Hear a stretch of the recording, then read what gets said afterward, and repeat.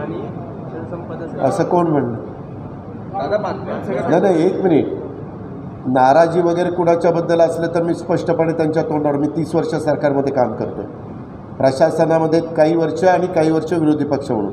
मी तसं कधीच मला जर कुठल्या अधिकाऱ्याच्याबद्दल बोलायचं झालं तर मी त्यांना बाजूला घेईल मी आम्ही दोघं बसू आणि त्यांना सांगेन ना ही माझी नाराजी आहे आणि ह्यामध्ये सुधारणा झाल्या पाहिजे विषय संपला. हे असं एक मिनिट. मी माझ्यापुरतं त्या ठिकाणी सांगतो.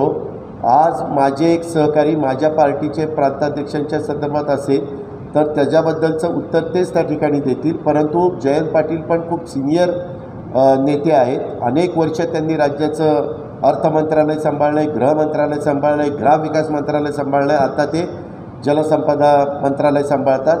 त्यांची आजपर्यंतची कामाची पद्धत बघितली तर ते अतिशय शांत स्वभावाचे आणि अधिकाऱ्यांच्याकडनं काम करून घेणारे आहेत. उलट जरा तापट स्वभावाचा मीच आहे कडक बोलणारा.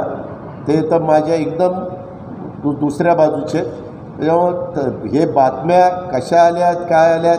कधीकधी महत्त्वाच्या गोष्टीच्यापेक्षा जी गोष्ट महत्त्वाची नाही अशालाच आपण महत्त्व दे द्यायला लागतो. आणि लोकांचं लक्ष सगळीकडं सगळं तिकडं डायवर्ट होतं. वास्तविक माझी आपल्याला आपल्यामार्फत तमाम सगळ्या मीडियाला विनंती आहे की यामध्ये काही तथ्य नाही आहे. हे प्रशासनाचा भाग असतो. प्रशासनामधले मुख्यमंत्री आणि आम्ही त्यांच्याबरोबर काम करणारे सगळे मंत्रीगट आणि प्रशासनातले असलेले मुख्य सचिव आणि बाकीचे सगळे सचिव हे आम्ही काही पहिल्यांदाच मंत्री झालो वगैरे